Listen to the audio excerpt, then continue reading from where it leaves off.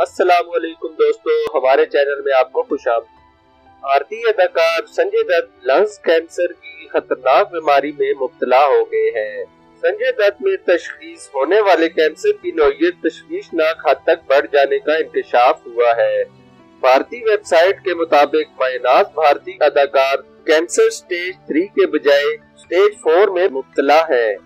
नाजरीन कराम यहाँ हम आपको ये बताते चले कि संजय दत्त इलाज के लिए अमेरिका जाएँगे।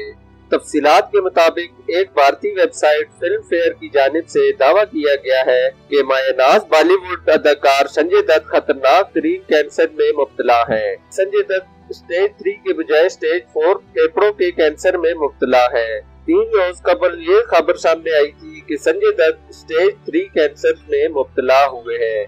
अदाकार को कुछ रोज कबल तबीयत खराब होने पर मुंबई की लैलावती हॉस्पिटल ले जाया गया, जहाँ उनके कुछ टेस्ट किए गए। अदाकार को मुसलसल सांस की तकलीफ़ की शिकायत थी, जिस पर उनका कोरोना टेस्ट भी किया गया। अदाकार का कोरोना टेस्ट भी की आया था। ताहम अब उनके दीगर टेस्टों की रिपोर्ट सामने आई है।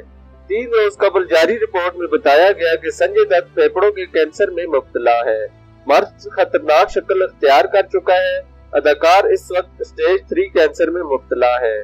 और उनके मजीद टेस्ट किए जाने पर पता चला है कि Sanjay Dutt stage three cancer में नहीं, बल्कि स्टेज फोर कैंसर में मुबतला है, जो कि बहुत सी ज़्यादा खतरे वाली बात है। जिस वजह से कैंसर के मर्ज की तशखीस के बाद संजय दत्त के अहल खाना ने मशरे से फौरी अमेरिका जाने का फैसला किया है, जहाँ वो अपना इलाज करवाएँगे।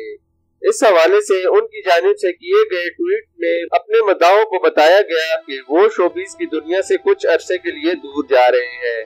उन्होंने मदाओं से कहा कि वो परेशान न हो, आपकी दुआओं में मैं जल्द वापस आऊँगा। दुआ है कि वो जल्द ही सेहतियाब होकर लौटे और हमेशा की तरह हँसते खेलते हुए नज़र आए। तो आज के लिए इतना ही।